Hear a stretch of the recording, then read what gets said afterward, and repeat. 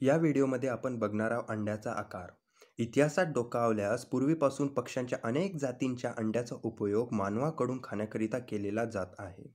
परंतु सर्वांच्या पसंतीचे व आवडीच्या खाण्यासाठी कोंबड्याच्या अंड्याचा उपयोग केला जातो यात कोणताही प्रश्न नाही. या कोंबडीचं जे पूर्ण अंड जो असतो याचा आकार काहीसा लंबवर्तुळकार असतो.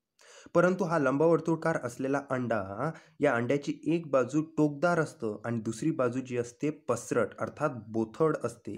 तर अशा स्वरूपात अंड्याचा काहीसा आकार असतो.